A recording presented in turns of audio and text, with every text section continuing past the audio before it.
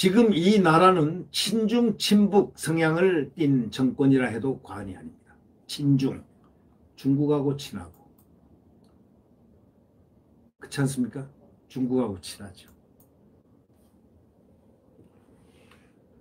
아, 중국하고 친하고 또 북한하고 친하고 아니 북한하고 친하죠. 네. 근데 여기서 더 친하려고 해도 북한이 잘 안 받아주는 것 같습니다. 다 또 이상한 현상이 일어났죠. 아니 뭐 준다 뭐 자꾸 준다고 준다고 통일부 장관이 이인영은 뭘 주겠다고 난리를 치고 있는데 안 받겠다 안 받겠다 하는 것도 북한이라고 하니까 도대체 저는 이 이 친북하고 친북 성향하고 이 북한의 하고의 이 정권과 관계가 어떠한 관계인지 도대체 이해가 안 됩니다. 왜 주겠다고 하는지 또 왜 안 받다고 안 받겠다고 또 뻗태기도 하고 정략적으로 정치적으로 그렇게 하는 건지 그런 게 잘 몰라가지고 말이죠. 에, 그런데 이 한미 SCM 공동성명에서 말이죠.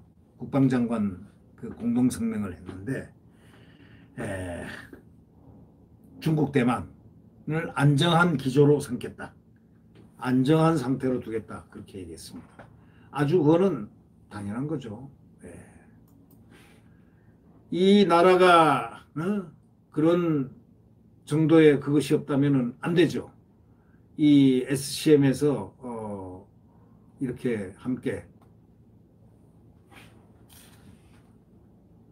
미국과 동맹국과 함께 가는 것 그건 다 아주 당연한 겁니다.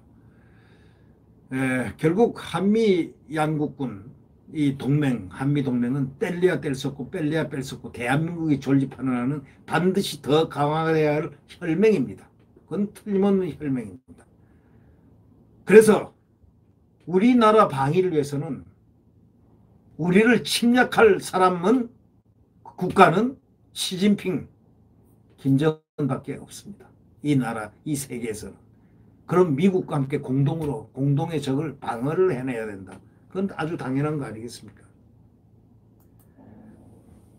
네, 결국 이 작계 작전 계획이죠. 501호 대폭 수정을 해서 한미 안보 협의회가 공동 성명을 소위 SCM 밥이 저 발표했습니다. 북한 위협이 더 강해졌다. 한미 작전 계획을 6년 만에 손봐야 되겠다. 이 손본다는 겁니다. 더 강해진 데 대해서 더 강하게 대응하기 위한 하나의 그것입니다. 문 대통령은 오스틴 미 국방의 종전선언 지지를 당부했지만 종전선언 하면은 여러분 잘 아시겠지만 그 다음에 미국 미국군 철군, 예? 그 다음에 철수, 그 다음에 북한 가만히 보겠, 보고 있겠습니까? 그들이 이 나라를 미국이 떠나면은 북한이 가만히 보고 있겠습니까? 중국이 가만히 보고 있겠습니까? 예. 근데 대통령은 자꾸 종전선언을 예, 주장합니다. 아, 그게 무슨 뜻인지를 국민들이 지금 납득을 하지 못하는 국민들이 꽤나 많습니다. 예. 한미 양국군은 북한 핵미사일 위협 고도화에 대해서 어, 작전 계획 501호를 내년부터 대폭 수정하고 보완키로 했습니다. 내년은 정권 교체가 이루어져야 하는 해입니다. 왜냐? 그렇게 우리나라 안보가 성하게 갈 수 있습니다. 우리 생활이 자유민주주의 생활, 성장, 고도 성장을 할 수 있는 정말 시장 경제가 계속될 수 있는 것입니다. 북한 전술핵과 극초음속 미사일, 신형 SLBM 뭐 이런 위험한 이 위협이 속속 등장함에 따라서 한미 연합 작계를 6년 만에 크게 손보겠다고 어저께 합의를 하는 공동성명을 냈습니다. 서우 국방장관과 로이드 오스틴 미 국방장관은 서울 용산 국방부에서 53차 한미 안보협의회 SCM을 개최하고 발표했습니다. 새로운 전략 기획 지침 이걸 승인했습니다. 전략 기획 지침 새로운 작계를 수립하거나 기존 작계를 대폭 수정 보완할 때 국방장관이 합참 등에 지시하는 일종의 가이드라인입니다. 이에 따라 한미 양국군은 향후 1, 2년간 북한의 새 위협, 평가를 토대로 해서 첨단 신무기와 작전 개념을 활용해서 각종 대응 방안을 포함된 작계를 새로 마련할 것으로 알려져 있습니다. 북한의 위협의 변화, 또 이 군 자체적인 국방개혁 2.0으로 인한 변화, 연합 지휘 구조에 대한 변화 등을 담을 작전 계획이 필요하다는 인식을 미국과 함께 했다고 우리 국방장관이 얘기를 했습니다. 북한 위협 변화 외에 대규모 병력 감축 및 복무기간 단축에 따른 변화, 전자권 전환에 따른 지휘 구조 변화 등도 어, 고려했다는 그런 얘기가 나옵니다. 북한반 이스칸데르 미사일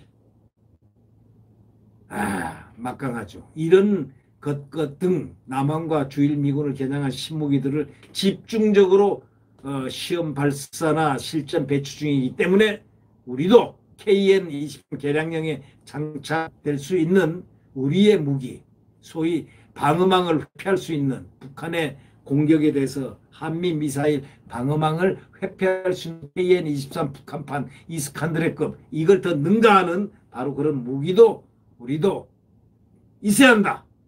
그래서 전술핵은 한반도 유사시 전쟁의 판도를 바꿀 수 있는 게임 천지이기 때문에 이것도 고려를 해야 되지 않나? 라는 바로 KN-23 개량령에 장착할 수 있을 것으로 보이는 전술핵.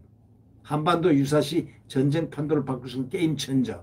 바로 이러한 변화, 작게 변화 내용은 앞으로 1, 2년간 양국 합참의 공동 작업으로 구체화될 예정입니다.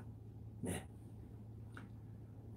에, 결국 양국이 또 용산기지 반환 문제와 맞물려 있는 한미연합사 사령부의 평택 이전도 내년까지 완료하는 데 합의했습니다. 사령부 본격 이전은 이르면 내년 6월쯤에 시작될 것으로 알려져 있습니다. 네. 아주 국가가 아, 지금 복잡합니다. 이 국내적으로는 이 선거 때문에. 네. 구독 버튼과 엄지를 눌러주시면 감사하겠습니다.